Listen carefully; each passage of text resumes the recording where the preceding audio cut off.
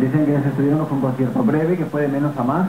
Cantar ante 100.000 personas tiene que ser, bueno, en fin, un subidón. Sí, yo no he cantado delante de tantos, cantado de- de la- eh, tuve la oportunidad de Interpeñas de cantar delante de 20, 25 mil personas y ya fue algo demasiado. O sea que imagino que estas cifras es algo ya Tiene superlativo. que dar vértigo, desde luego. Dani, el cariño que te tiene Aragón, porque te hemos visto y te hemos entrevistado en otras ocasiones, y realmente aquí de Zaragoza y que la gente te vaya parando por la calle y comentamos con ese cariño y esa fuerza, la verdad es que como andas siempre en la imagen del chico buenecito, pues no- no solo las chicas jóvenes, sino las señoras te, te adoran. Es cierto, la verdad es que dentro del regimiento de fans que, que me siguen o, o que les gusta lo que hago, hay gente de todas las edades y de todo tipo y color, ¿eh? O sea que, que eso me encanta además. En tu nuevo disco y en tus nuevos proyectos, ¿nos vas a sorprender con el vídeo que vamos, nos las fotos así un poco de tu anterior trabajo o es una cosa más?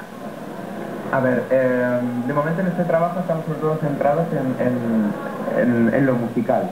En la puesta en escena todavía no hemos decidido que... Hay que vamos a recordar para la gente que este vídeo Era un poco. Sí, era, era todo contenido erótico, sí. sensual. Y sí que me gustaría eh, utilizar las imágenes y la difusión de mi trabajo para denunciar eh, diferentes cosas que yo creo que, que hay en la sociedad que, que- que- que son muy, muy, muy denunciables y, y- y sacar a la luz. sea que vamos a ver un Dani reivindicativo. ¿Alguna reivindicación? Yo esto me lo guardo. Sorpresa. Bueno, pues eh, además de la música de Coti, de la música de Dani Sueras, también eh, hay